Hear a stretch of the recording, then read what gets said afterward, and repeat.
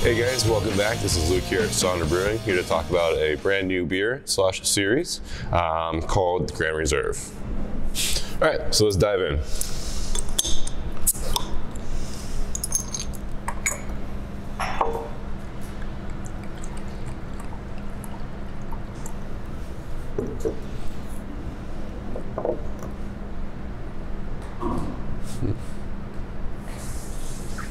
Really got a nice lot of oak. Definitely get the toffee. It's really got a lot of caramel going on. Goes into the maple syrup.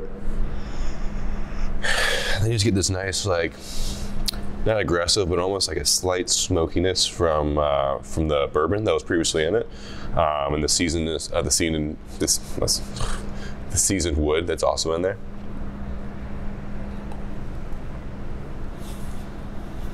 Mm. Ooh, okay. A lot of umami, a lot of just savoriness. Yeah, it's crazy how this changes in the bottle. So it's a lot of savory, very savory on the palate, from front to back. Really just overtakes. Um, you're getting a lot of dark chocolate, maple syrup again, a little bit of toffee. Mm.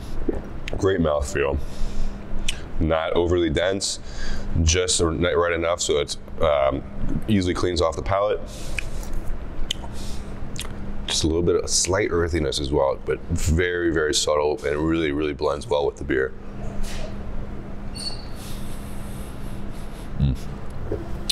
Yeah, this is this is great. Uh, a lot of characteristics. The other umami characteristic was not there prior from uh, when we were trying before the bottling, so that's actually really exciting to see uh, how this beer uh, how this beer is aging in the bottle.